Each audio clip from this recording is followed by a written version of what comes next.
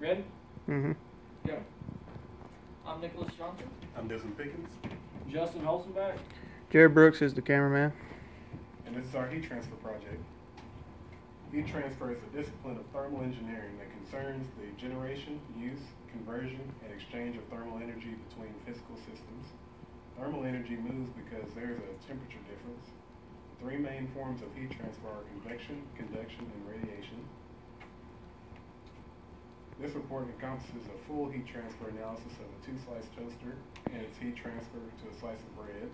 We will determine the amount of heat generated by the toaster and the amount of heat energy the bread is absorbing to calculate the overall energy efficiency of the toaster. Going into this experiment, we had to make several uh, assumptions. Our first assumption was that there's really only radiation heat transfer going on. There's such a small amount of airflow that the convection is negligible.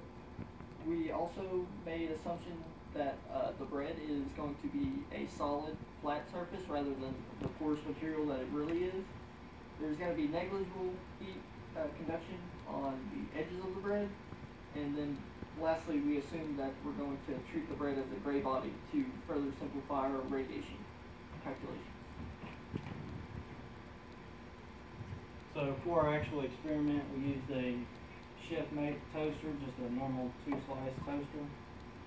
Um, just set it up in the kitchen, preheated the uh, toaster so we could get our initial temps. After we did that, we placed uh, the bread inside and were able to conduct our experiment. We had the timer set for about 40 seconds.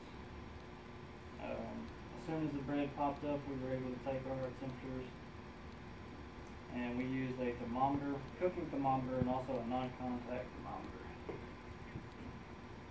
The cooking thermometer was useful because we were able to use it, use the probe end of it to get like pinpoint actual temperatures, and then the non-contact was very useful as far as getting deep down inside the toaster. That way we didn't burn our hands or anything like that.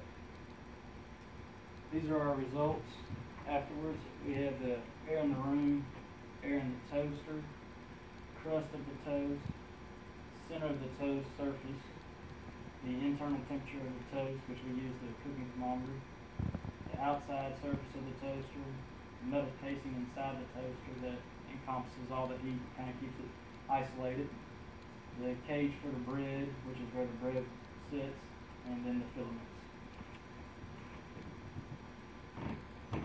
Now, on the previous slide, you did see a lot of temperatures. Those are really just useful in seeing where all the extra energy goes in this experiment. Now, for our actual calculations, we were only concerned with two of those temperatures, the surface of the bread and the temperature of the filament, as well as the temperature of the inside of the bread for the conduction side of the equation. Now, we had to calculate our HRAD value ourselves, and we ended up doing this using uh, the, predefined emissivity found by previous studies, and then our Boltzmann constant, the surface of the bread, and the temperature of the filament, and we got that to equal 13.4171. Now, taking this value along with our surface area of the bread and the thickness of the bread that we uh, measured, we were able to plug this into our equation to find the total thermal resistance for our thermal circuit seen here. After we found that, which was 7.974, we were able to plug, plug that into our equation to find the actual heat that was received by the toast. And we got that to be 54.85 watts. Now taking that number and dividing that by the actual wattage of the toaster, we were able to find our thermal efficiency and we got that to be about 6.86%, which is pretty bad. The ways that heat is transferred from the toaster to the bread is called radiation and conduction. Once the students were able to conduct the experiment and find the temperatures experimentally, they used the equations they learned in class to find the efficiency, which was quite low, to a 6.86%. So to conclude, the students were able to conduct this experiment, a real world problem, using equations they learned in class to find the efficiency.